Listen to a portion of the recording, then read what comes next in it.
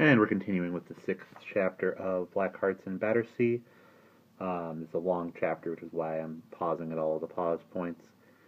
The Twites talked to Simon at breakfast, determined that he probably did not go in the cellar, but uh, Mr. Twite did not seem to know anything about a sketch in Dido's room or in Dido's room, and we'll continue from there.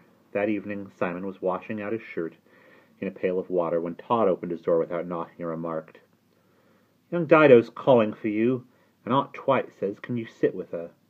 Very well. Simon left his shirt soaking. Todd muttered, Can't think why she wants you. Oh, there you are, Mr. Thingamy, I declare, exclaimed Mrs. Twite, who looked all, who looked flushed and irritable. I'm clean distracted with that child so feverish as she is. Keeps trying to get out of bed. Penelope Penelope gone out to goodness knows where, and a meeting of the Glee Society in half an hour. She's been calling for you, dear boy, so if you would just sit there with her till she goes off. Of course I will, Simon said. He found Dido in a high fever, throwing herself restlessly about her bed, muttering random remarks, singing odd snatches of songs. When he took her hand, she quieted somewhat and lay back on the pillow. Hello, brat, said Simon. Do you want to play cards? Too hot, she muttered. Tell story. Mrs. Twite put her head around the door long enough to nod a gracious approval and went quietly back to her Glee Society preparations. Simon racked his brains for a story. Then he hit on the notion of telling of his adventures during the years when he had lived in his cave in the forest of Willoughby Chase, playing hide and seek with the wolves all winter long. This answered famously. Dido let off, left off restless fidgeting and settled down, holding on to his finger, listening in languid content. I'd like to go there, she whispered. I expect you will some day. Her eyes opened in a drowsy flicker. Will you take me? Yes, very likely, if you are good, and go to sleep now. Promise? Very well. She closed her eyes and she slept. Simon carefully withdrew his hand and tiptoed across the room to re-examine the little sketch, but it was gone. Annoyed at not having anticipated this and showed it to, to Mr. Twite in the morning, he tried to open the door but found it locked. Since he did not like to knock and risk waking Dido, he found himself a prisoner, having searched the room for some occupation and rejected the chance of reading numerous copies of Maids' Wives and Widows and Maids' Wives and Widows and Penny Magazine. He went philosophically to sleep, curled up on the floor.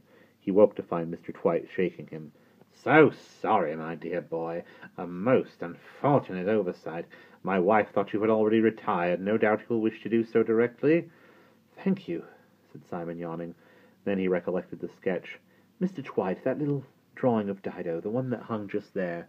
No, no, my dear boy, no picture hung there. You imagined it, I dare say. Yes, yes. Your fancy is full of pictures. It is most natural. But I, but I saw. Ah, we artists said Mr. Twite, waving him out of the door.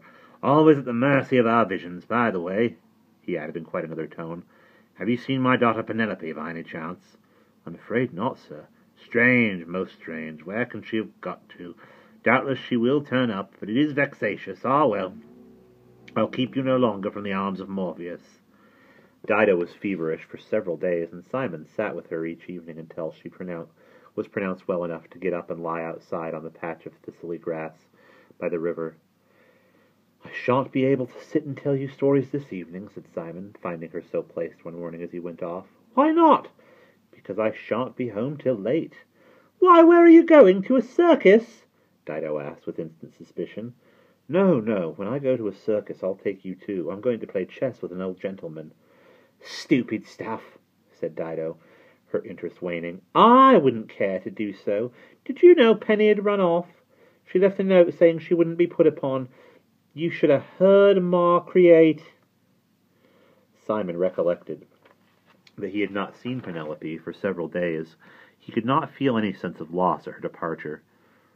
Perhaps Ma'll make some togs for me now, Dido said hopefully, echoing Simon's thought. Then she added, "Where's your playing? Ch- where are you playing chess, anyways?" At Battersea Castle. Simon called over his shoulder as he walked off. Goodbye, Brat. See you tomorrow. Mr. Cobb, Simon said that evening, as he mended the springs of a lady's per- perch phaeton. What would you do if you thought you had discovered a, Hanover- a Hanoverian plot? Mr. Cobb lowered the wash leather with which he was polishing the panels, regarded Simon with a very shrewd expression. Me boy, he said, it's all Lombard Street to a China orange that I'd turn a blind eye and do nothing about it. Yes, yes, I know. Raising a quelling hand, I know the Hanoverians are a crew of fire-breathing traitors who want to turn good King James, bless him, off the throne and bring some flighty German boy. But I ask you, what do they actually do? Nothing. It's all a lot of talk and moonshine, harmless as a kettle on a guinea pig's tail. Why trouble about it when they when they trouble nobody? Simon wondered whether Mr. Cobb would think them so harmless if he were to see the the contents of the Twites cellar, but just as he was opening his mouth to speak of this, the Chelsea church clock boomed out the hour of nine, and he had to hurry off to Battersea Castle. He took the main way over Chelsea Bridge, and through the great gates beyond it. A tree-bordered avenue led to the castle, which rose like some fabulous pink flower among the encircling gas flames. "Who the devil are you, and where the devil do you think you're going?" growled a voice ahead of him. A burly man came out of a porter's lodge halfway along the avenue and halted Simon by pressing a button which caused two cross lances to rise out of the ground, barring the road. The Duke has invited me to play chess with him, Simon said. Play chess? With a ragged young title like you, a likely story, the gatekeeper sneered. As a matter of fact, it was a likely story, since the Duke made friends with all kinds of odd characters, and this man knew quite well. But he hoped to wring some gate money out of Simon. I'm not ragged, and the Duke's expecting me, Simon said calmly. Me in, please. Oh, no, I'm not so green as to let riff-raff and flash coves in to ping, to prig whatever they can mill. I'm not lowering that barricade for you. No, not if it if you was to go down on your benders to me. Not if you was to offer me so much as half a guinea. Simon remained silent, and the man said angrily, Not if you was to offer me a whole guinea, I wouldn't open it. I shan't do that. Simon said, Oh, and why not, my young shaver? Because you'll have to open it anyway. The Duchess's carriage is right is just behind you. The gatekeeper swung around with an oath. True enough, the carriage, which Simon had observed leaving the castle as he reached the lodge, was pulling up smoothly just behind the man, and the coachman was crying impatiently, Jump to it there, Daggett! Do you think her Grace wants to wait all night? Red with suppressed emotion, Daggett hastened to obey. Sophie, who was sitting in the carriage opposite her Grace, holding a reticule, a telescope, and a mahjong set, dimpled a smile at Simon, and the Duchess inquired, is that your young friend, Sophie? He looks a very personable lad. Yes, ma'am, said Sophie. The Duchess addressed Simon. So you're the young man who is kindly coming to play chess with William and keep him amused while I go to the opera. It is very obliging of you. William detests opera, and I only find it tolerable if I play mahjong with Sophie while the sitting while the singing is going on. But of course one has one's box and must attend regularly. I hope you had a you have a pleasant evening, ma'am, Simon said politely. Thank you, my dear boy. We shall meet again, I trust. A delightful face, the Duchess went on, speaking to Sophie as the carriage rolled away. You have excellent taste, Sophie, dear. Thank you, your grace. The main entrance to the castle lay up a treacherous flight of curving steps. At the top stood two haughty bewigged footmen in cream and gold livery and rose-colored buttons. Good evening, Simon said civilly. I've come to play chess with the Duke. Evidently they had been told to expect him. One of them led him through a lofty hall, up another flight of stairs, and across a great black and white tiled anteroom to a pair of doors which he threw open, announcing, The young person, your grace! The room Simon entered was a large library with fireplaces on either side. The Duke jumped from a chair by one fireside and came hurrying forward. He was elegantly dressed tonight, in satin knee breeches and a velvet jacket but still looked absent-minded and untidy. The old-fashioned wig he wore was twisted askew. So was his cravat, and one of his velvet cuffs was covered in ash. "Ah, this is a pleasure!" he exclaimed. "I have been greatly looking forward to our game."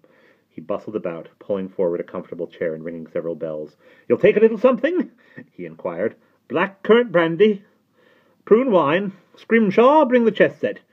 Jabwing, prune wine and biscuits. The Duke's chess set was very beautiful. The pieces were of greenish glass. Cunningly twisted and carved, the Duke set them out lovingly on a leather board, polishing each one on his cravat. The white men were clear right through, and the black were veined with streaks of dark glass. They began to play, and it did not take Simon long to discover that his Grace was not a very good player. He tended to start well with some bold moves, but then his attention would wander. He would jump up hastily to search for a quotation in a book or to examine a patch of lichen on one of the burning logs on the hearth. You play very well, my boy, the Duke said after Simon had won two out of the three games. Who taught you? A friend of mine, sir, Simon said, sighing. A Dr. Gabriel Field. The Duke's face lit up. Ah, Dr. Field! He is an excellent player, is he not? And a dear fellow. Where is the good doctor? I have not seen him in ages. You know Dr. Field? Simon gazed at him in astonishment. Why, yes, I met him at the Academy of Art. Rivieres? Learn painting? Oh, you learn painting, do you, my boy? I am not surprised to hear it, for you have the face of an artist. Yes, I met Dr. Field at Rivieres. I am one of the patrons, you know.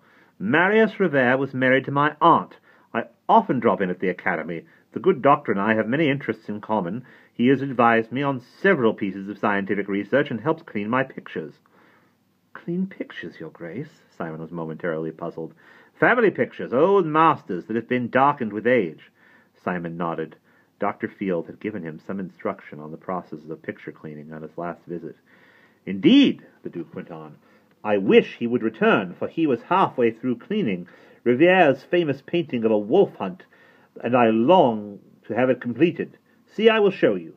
He led the way to the far end of the library, a good hundred yards off. Here he turned, blowing a shrill blast on a small golden whistle. One of the footmen came running from the door. Jabwing! Light some more taper, tapers, please, and then bring my gruel. Soon half a hundred candles had been kindled.